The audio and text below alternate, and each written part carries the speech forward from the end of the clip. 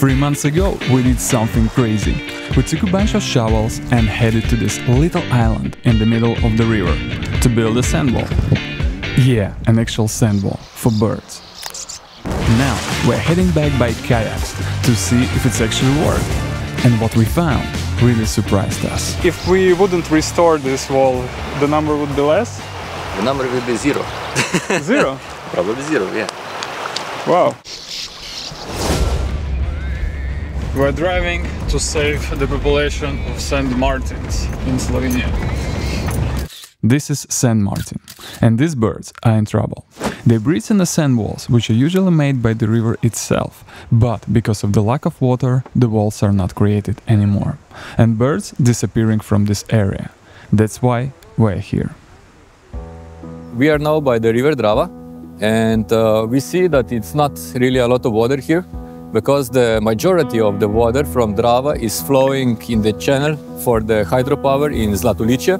Approximately 20 cubic meter of water is flowing now here. The rest is flowing in uh, channel. It is about 250 cubic meter per second.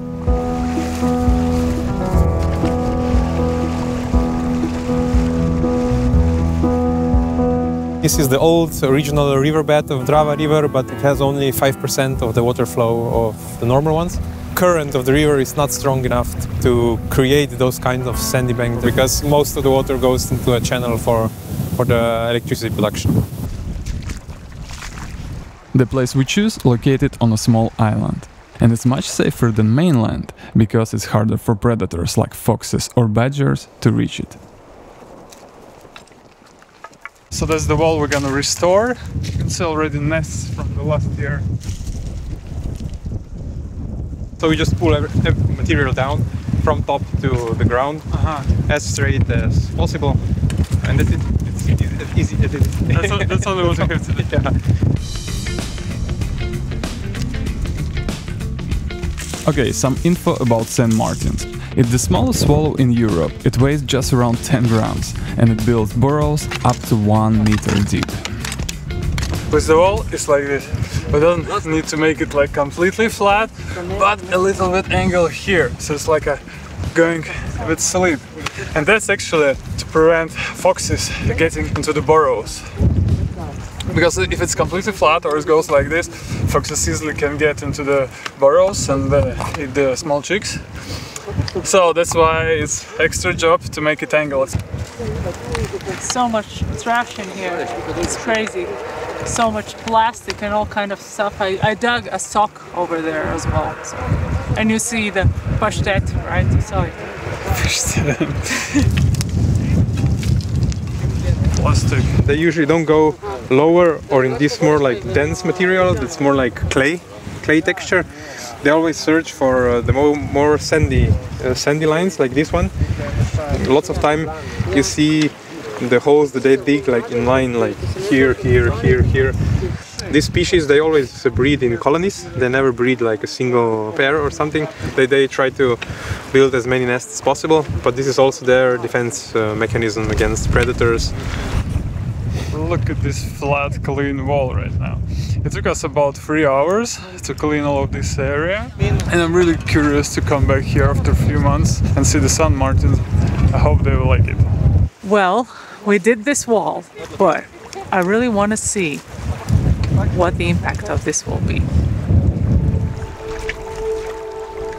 A hydropower dam provide big portion of electricity for Slovenia, about 20 or 25 percent. The Drava River was almost totally destroyed by this uh, chain. Not just uh, the birds, also fish and everything. Probably with some floods, some years there would be like appropriate uh, sandy bank for them. But in most years, I think no. So if we would stop, species would disappear. And I think this is like a really good example of uh, a little effort that we can do together as a society to have a great impact on, on the species and help them a lot.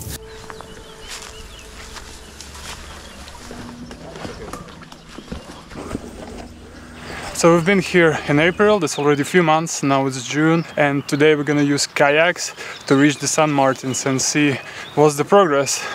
Is all the work we've done was useful or not?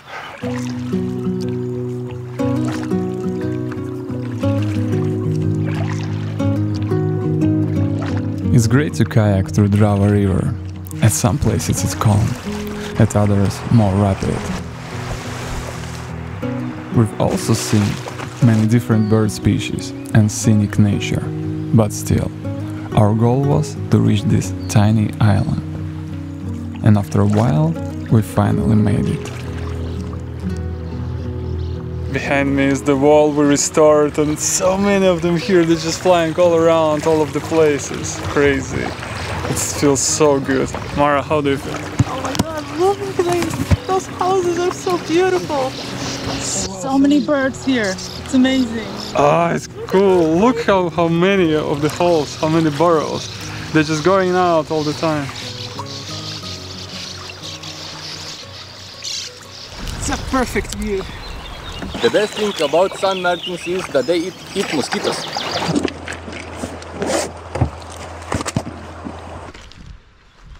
We landed on another small island next to the wall we restored. And this year it was super successful, right? How many pairs here? Good 200.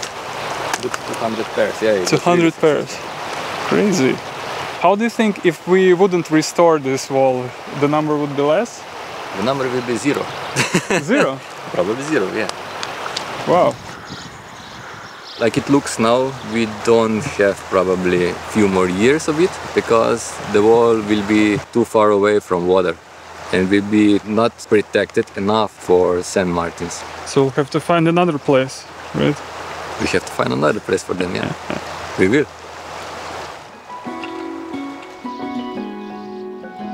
The youngsters are so cool. Like, look at that. They're waiting by the entrance for their parents to bring some food. Yeah, I was not thinking much what the difference it would make when we did the digging in spring, but here's the result. And it's so beautiful and it's nice to be a part of it.